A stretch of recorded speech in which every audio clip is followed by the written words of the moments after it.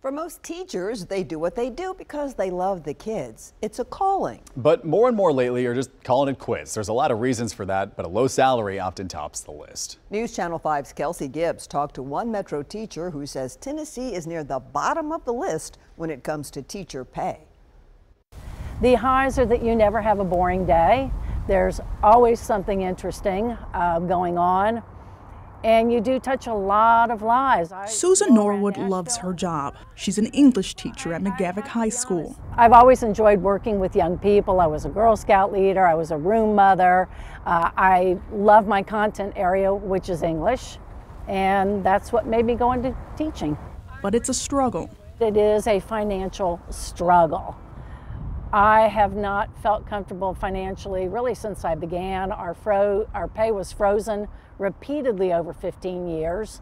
When Governor Bill Lee came into office in 2019, the state minimum pay for teachers was 35,000. The governor wants to raise that to 50,000 by the time he leaves office in 2027. Governor Lee talks about making a teacher salary $50,000. Well, it takes at least $85,000 a year to live comfortably in Nashville. The National Education Association has Tennessee ranked 42 out of 50 states for teacher salary. The latest data shows the state's average is just shy of 53,000.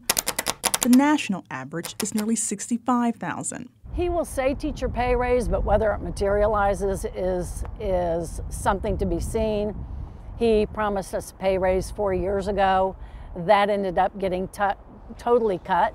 During Lee's State of the State address, he said $125 million from the state's education fund will pay for the raises. So, what would I like to see? I would like to see decent pay raises, uh, even the 4% cost of living adjustment we got this year. In Nashville, Kelsey Gibbs, News Channel 5.